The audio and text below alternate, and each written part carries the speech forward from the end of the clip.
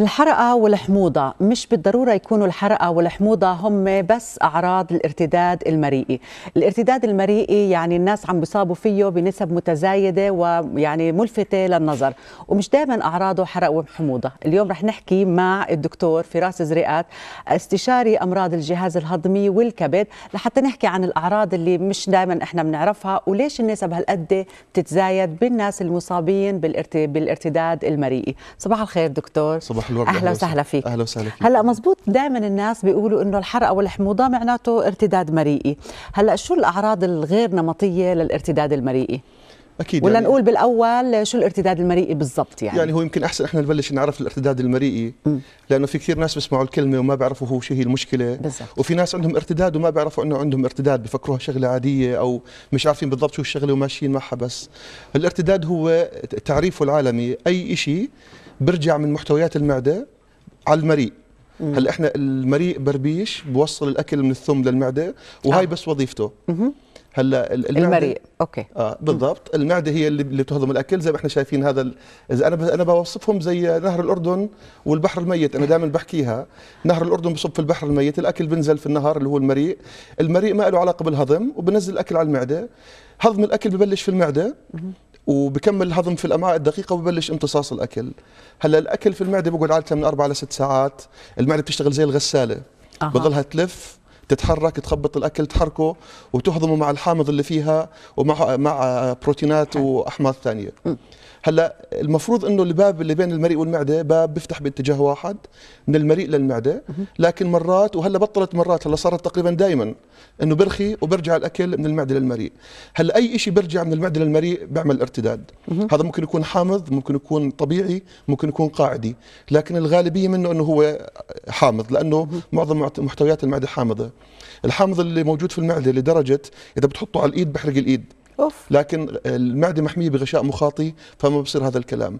جدار المريء زي الجلد إذا بيطلع عليه الحامض بحرقه وبيعمل المشاكل والأعراض اللي ممكن تصير. آه okay. إذا هو موجود هذا الغريب إنه هو موجود بالمعدة ما بيأذي المعدة لأنه بالضبط. المعدة عندها غشاء مخاطي. مخاطي. لما بيطلع على المريء بصير زي الجلد بيحرق. بالضبط. آه okay. هلأ ال ال ال الارتداد المريء زي ريال مدريد. حاليا رقم اثنين على مستوى ريال مدريد يمكن رقم اثنين على العالم بعد برشلونة. الارتداد المريئي يقال إنه رقم اثنين بعد القولون العصبي في أمراض الجهاز الهضمي. أوف. وهو في الواقع قريبا أو إذا ما أور يعني إذا مش من هلأ تخطى القولون العصبي رح يتخطاه قريبا ويصير number 1 ويصير بالصدارة. آه. هلأ آه، الأسباب كثير لهذا الحكي ممكن نحكي فيها هلأ. لكن الناس بقيسوا إنه يعني الارتداد يعني حامض. آه هلأ هاي الصورة إيش عم نشوف فيها الحامض هون؟ يعني هاي الحامض موجود في المعدة آه، طبقة الحامض والأكل. أها. والموجودة طبعا إحنا بنشوفها إنها مباشرة تحت الصمام اللي بين المريء والمعدة. وإذا إذا رخى هذا الصمام ممكن مع أي حركة يرجع الحامض والأكل للمريء. الحامض اللي هو لونه أزرق. بالضبط. إنه إذا رخى. الصمام فهي رح تطلع يعني لفوق. هذا هذا هو الارتداد. المريئي. إحنا ما. بنسميه حامض هذا بنسميه عصارة المعدة اللي بتتكون من عدة أشياء لكن ال- الشيء اللي السيء فيها هو الحامض. أوكي. طيب هلا إذا هذا هو الارتداد المريئي إنه الأشياء بترجع من المعدة بالمريء بدل ما تروح بالاتجاه الواحد. طيب هلا عادة نحن بنعرف إنه حرقة وحموضة بياخذوا لهم مثلا أدوية معينة ضد يعني الحموضة. أنا أنا مبسوط إنك حكيت هاي الكلمة. خلينا نوقف. عند ما. نحن بنحكي عن موضوع ثاني بس وقف عند الحرقة والحموضة. أيوة. بما إنه إحنا بنحكي عن الارتداد قاعدين وممكن نحكي أكثر وأكثر حتى يس. الناس. هلا كلمه شو هي كلمة إيش هو إيش هي كلمه مش كلمه حرقة. إيش هي كلمة حرقة؟ لما نحكي حرقة يعني أي شيء بثم المعدة اللي هو التقاء القفص الصدري مع بعضه في هاي المنطقة بالضبط بحس الواحد زي نار. صح. هاي هاي هي ال- ال- الحرقة. والحموضة إذا الأكل أو الحامض برجع على الحلق وبحس الواحد بطعم حامض بحلقه. هذول أكثر عارض- عارضين إحنا بنعرفهم للإرتداد المريئي. آه. أنا كنت بدي أحكي إنه الإرتداد ممكن يكون صامت أيوه. أو ممكن يعطي الاعراض الغير تقليدية اللي رح نحكي عنها. فإذا جمعناهم مع بعض ممكن حتى يطلع أكثر كنسبة أكثر من القولون العصبي وأنا دائما بحكي أنا يعني كل ما يكبر الواحد أو حتى الناس الشباب يقعدوا مجموعة عشرة مع بعض ويسألوا مين بيصيبه حموضه أو حرقة. رح؟ تلاقي إنه النسبة بتزيد. مزبوط. أكيد قبل خمس سنين كانت أقل وغالبا بعد عشر سنين رح تكون أكثر. فهو مرض شائع جدا وهو مش بس إنه والله إنه صابني أنا حموضة خلاص بشرب شوية حليب أو باخذ حبتين ضد الحموضة وبروح خلاص حياتي طبيعيه لا هذا له مضاعفات وله مشاكل. وممكن يصير عنده أمراض كثير خطيرة. فإحنا لازم ننتبه لهي الشغلة واللي بتتكرر عنده الأعراض لازم يراجع طبيب. لازم. هلا ما- أنت عم نحكي قبل شوي تفضلت دكتور وقلت إنه اللي إذا ما تعالج الارتداد المريئي ممكن يعمل مضاعفات وتسوي سرطان المريء.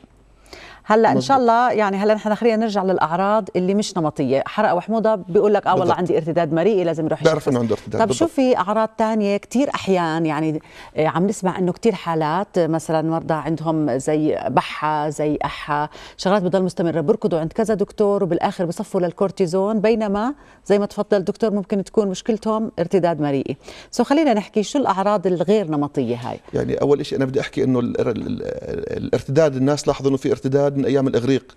من آلاف السنين عرفوا إنه في ارتداد بيعمل إنه أكل بيرجع من المعدة على المريء وبيعمل الحموضة والحرقة. هلأ أول دراسة علمية نزلت على هذا الموضوع كان في بداية الثلاثينات. وراها بسنتين مباشرة نزل كمان دراسة بتقول إنه والله يمكن حتى أعراض ثانية تكون من الارتداد. لكن آه، هذا الحكي الناس ما كانت تنتبه له لأنه هذا مرض نادر وما كانوا يقدروا يوصلوهم ببعض وما كان في تشخيص. لكن هلا مع الوقت صرنا نعرف أكثر وأكثر. في كثير أعراض يعني من مثلا ال- ال- القحة المزمنة. في كثير ناس بقحوا مش عارفين شو المشكلة اللي عندهم. حتى لو احه ناشفة. حتى هي هي غالبا قحة ناشفة. ممكن يكون معها بلغم بتكون بالنهار ممكن تكون بالليل بعد الأكل ومش بعد الأكل. ثلث هذول الناس عندهم ارتداد مريئي. هلا القحة المزمنة لها ثلاث أسباب. ممكن يكون آه، إفرازات الجيوب بترجع على الحنجرة وبتهيج الحنجرة. ممكن تكون شيء من القصبات أو من الرئتين. وهي شغلات سهلة إنه الواحد بيروح على طبيب أذنية أو طبيب صدرية وبتشخص. وبضل ثلث هذول المرضى اللي عنده ارتداد مريئي. ممكن آه. هذا المريض يروح سنين وهو مش عارف شو عنده. يفكر عنده ربو قصبي أو حساسية وما بيخلي دواء بأخذه وهو مش عارف شو القصة. وبتطلع كل الشغلة سهلة. إذا بنظم حياته وباخذ الدواء الصح بتطيب كل. هاي الشغلة. أوكي اذا الاحه ممكن تكون. شو طبعاً. كمان؟ هلأ من الأعراض الثانية كمان آه، بحث الصوت. بحة. بحث الصوت هلا كثير من اللي عندهم بحث صوت آه، في ناس في مذيعات تركوا الشغل من وراء هاي الشغلة مطربين تركوا الشغل معلمين مدارس تركوا الشغل من وراء بحث الصوت. بحث الصوت كمان تقريبا 40% منهم بكون سببها ارتداد مريئي. أوف. وهي كمان شغل الناس ما بينتبهوا لها وبتعالج عند الأطباء الغلط وبأخذ الأدوية الغلط وهم مش عارفين شو القصة. أو مثلا آه زي ما حياته بتبطل يروح على مناسبات بطل يتواصل مع أهله في البيت بيكتئب الواحد بطل يعرف شو يعمل. بين محلها بسيط. لأنه بده يعبر عن حاله مش قادر صوته مش طالع. وهي الشغلة حلها بسيط جدا مش بسيط. بسيط مريئي. جدا طبعا وعلاجه كثير سهل. في معنا اتصال آه، ربى الصيفي على التليفون. هلو؟ هلو مرحبا. أهلا وسهلا. آه، يعطيكم العافية. بس بدي أسأل بالنسبة إنه في ناس عندهم دائما بصير عندهم نفخه من الأكل. أها.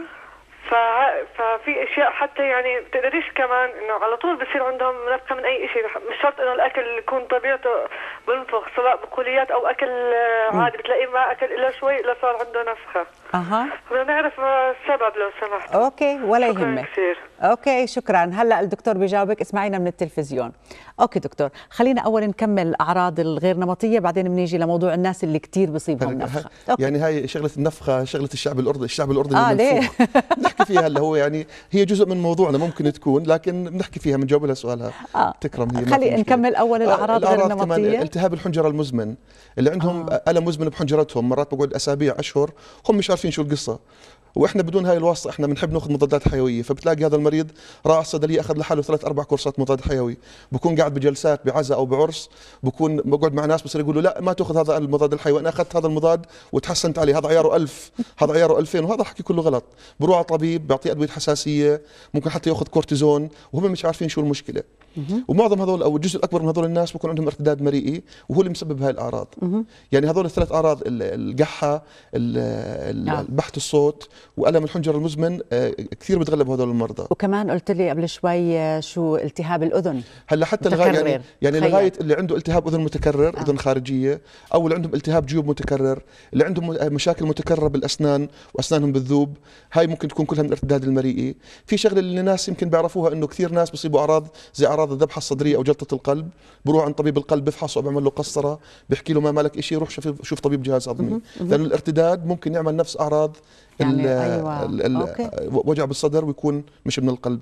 لكن أي أنا يعني رجاء هون أي مريض عنده وجع بالصدر لازم يشوف طبيب القلب اولا. اولا. القلب اولا لأنه القلب إذا في أي شيء بيعمل مشاكل الارتداد لا.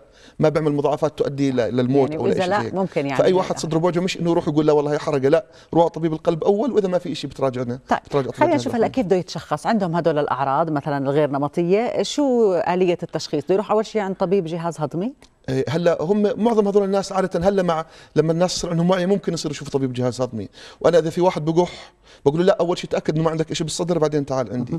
هلا اللي بدي أحكيه كمان شغلة مهمة إنه اللي عندهم هاي الأعراض أكثر من نصهم ما بكون عندهم لا حموضه ولا حرقة. يعني ما بكون عندهم الأعراض الكلاسيكية أو التقليدية للارتداد موجود. فهذا كثير مهم الحكي. يعني مش إنه لا والله أنا ما عندي حموضة معناته لازم يكون عندي. وفي نفس الوقت الحموضة شيء شائع. فممكن الواحد يكون عنده قحة من حساسية أو من شيء ثاني وعنده حموضة. فمش بالضرورة يعني على الحالتين ما بت- ما بتركب على بعض فالواحد لازم يتشخص صح.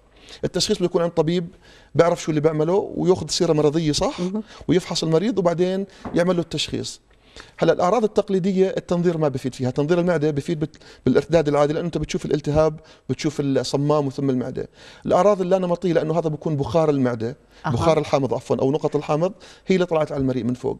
وهلأ صار في من جديد قياسه نسبة حامض ال- ال- الحنجرة. بتحط زي سلك صغير أرفع من عود المعكرونة بتحطه بالحنجرة وبتقيس هذا الحكي حتى تكون متأكد 100% بالحنجر. يعني ما. بدها بنج يعني ممكن ينعمل بالعياده تركيبه, تركيبه. أنا يمكن المرة يمكن في المستقبل أجيب لكم فيديو كيف بنركبه شغله كثير سهلة. إحنا صرنا عاملين بالأردن تسع حالات لغاية هلا. هاي شغلة جديدة بالعالم عمرها يمكن سنتين. لغاية قبل هاي الشغلة كانوا الناس يحكوا خذ دواء لمدة ثلاث شهور بجرعة مضاعفة حتى نتأكد. وفي كثير مرضى لما كانوا الاطباء يحكوا هذا الحكي ما كانوا يقتنعوا ويلتزموا بالدواء. هلا أنت بتصير تتأكد بالضبط الحالة حتى تعطي المريض الصح العلاج الصح. هلا بتركب هذا لمدة 24 ساعة بأخذ المريض معه على البيت بعيش آه. حياته طبيعي. برجع. ثاني يوم بنحلله بنشوف بنشوف نسبة الحامض وبنقدر نعرف إيش المريض هذا بالضبط عنده. وبأي وقت من اليوم عنده خلال النوم بعد الأكل شو الأشياء اللي بتعمل له هذا الكلام؟ طيب هلأ شو عادة بيكون؟ يعني هلأ صعب أكيد العلاج يكون واحد لكل الأعراض بس عادة شو علاج الارتداد المريئي؟ هلأ علاج الارتداد المريء العادي أو الحموضة أو الأعراض اللي حكيناها أول شيء بتغيير نظام الحياة. هلأ إحنا ليش الارتداد بيزيد نسبته كثير؟ لأنه؟ نظام حياتنا بتغير. آه. لأنه إحنا إذا بدنا نروح على دكانة لازم نصف على باب الدكانة. حتى لو كانوا السيارتين صفين على بابها بنصف بجنب ال- بنسكر الشارع ونصف مشان ننزل ناخذ اغراضنا ثقافة الرياضة عندنا عيب ثقافة المشي أصلا ما في محل الواحد يمشي. آه. أنا بشوف في فينا مجموعات بيطلعوا بيمشوا بعمان لازم يسكر الشارع ولازم يكون معهم ناس. ما في محلات كثيرة للمشي. مزبوط الرياضة آه. عندنا مش وزن الناس قاعد بزيد. آه، لأنه الحركة قلت نظام أكلنا تغير وقت أكلنا تغير صرنا نأكل بالليل متأخر. زمان الناس كانوا يناموا على التسعة ما كان في كهرباء ما كان في تلفزيون. هلا لا بنسهر وبنتأخر بالشغل وأكلنا بكون متأخر.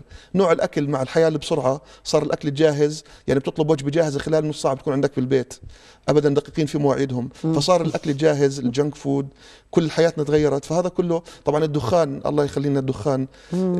نسبة المدخنين للأسف يعني حتى بلاد برا المدخنين الصغار بدخ- بدخنوا أقل من الكبار. يعني صار يعرفوا إنه مشكلة وبطلوا يدخنوا. إحنا عندنا الصغار بدخنوا أكثر من الكبار. والدخان لأنه ما بيأثر. عندنا يعني حتى إنه ما في يعني اللي بده يدخن ما بتغلب بالأردن يعني اللي بده يدخن في بلدان ثانية آه لو عمره 11 بتغلب، سنة ممكن يروح يشتري باكيت دخان وهذا شيء يعني مؤسف بال بال آه. يعني إحنا في هلأ عندنا توعية على الموضوع بيحاولوا يخففوه وإن شاء الله هذا الحكي الله، بالمستقبل بس الدخان الدخان مش دور. كويس الدخان له مضاعفات الناس بفكروا الدخان بأثر بس على الرئة أو على القلب لا الدخان بأثر على الجهاز الهضمي على أشياء كثير والدخان حقه مصاري وقصته قصه ما هذا بندخن بس إن شاء الله إنه في المستقبل إنه هاي كمان العادة إنها تخف آه، في طيب بلدنا. هلأ مضاعفاته هل قد ضروري يتشخص؟ وضروري جدا ناخذ علاج لأنه مضاعفاته زي ما تفضل دكتور بالضبط. يعني ممكن تصير خطيرة جدا. بالضبط. شو ممكن تكون؟ يعني زي ما أنت حكيت السرطان حتى الارتداد ممكن يؤدي لسرطان. هلأ سرطان المريء كانت نسبته قليلة في العالم في السابق. هلأ هو أكثر نسبة قاعدة بتزيد. معظم السرطانات يا مستقرة يا نسبتها بتقل لأنه في عليها توعية زي سرطان الثدي والقولون مثلا. لكن سرطان المريء يعني كان رقم 15 صار رقم 10 هلأ رقم 5 وكل ماله بزيد. ليش سرطان بزيد؟ لأنه الارتداد بزيد. هلا جدار المريء لما يتهيج ويظل الحامض يطلع عليه بهيجي الخلايا ومع الوقت بصير فيها تغير. مش معناته إنه كل واحد عنده ارتداد يخاف يقول أنا بصير عندي سرطان. لا. بس. لكن زي اللي بدخن بزيد احتمال سرطان الرئة. الارتداد بزيد احتمال سرطان المريء. فالواحد مش لازم يدخن مشان ما يصير عنده سرطان رئة. ولازم يدير باله إنه ما يصير عنده ارتداد حتى ما يزيد سرطان المريء. طبعا في مضاعفات ثانية. ممكن يصير قرحة في المريء. ممكن يصير نزيف في المريء. ممكن يصير تضيق في المريء. بطل الواحد يقدر يبلع. لكن زي ما أنت حكيتي أكثر شيء بخوفنا اللي هو تغير الخلايا وتكون السرطان. يعني معناته هلأ كثير بتسمع ناس إنه دائما بصيبه حرقة وحموضة بتعود على أدوية معينة مثلا ميلوكس أو أو هدول الأشياء. بس يعني هذا خطأ. يعني عم نحكي أنت عم تقول. دكتور إنه يكون الواحد عنده حرقة دائما إشي؟ بالضبط. غلط. يعني لازم يتعالج. يعني هلأ اللي بصيبه حرقة مرة بالشهر وخفيف وباخذ حبتين مالوكس وبتحسن ماشي الحال. لكن اللي بصيبه حرقة متكررة قد إيه عم نقول متكررة إنه لازم يراجع متكرر الطبيب؟ أقل يعني أقل شيء ثلاث مرات في الأسبوع أو مرتين في الأسبوع. آه إذا إحنا كنا نقول ثلاث مرتين مرات. بالأسبوع هلأ الدراسات الجديده بتحكي حتى مرة في الأسبوع. يعني راح تكون أشد المتحفظين أكثر في الموضوع. اللي بيصحى بالليل من النوم على الأعراض هاي مشكلة كبيرة كمان. هذا لازم يراجع طبيب.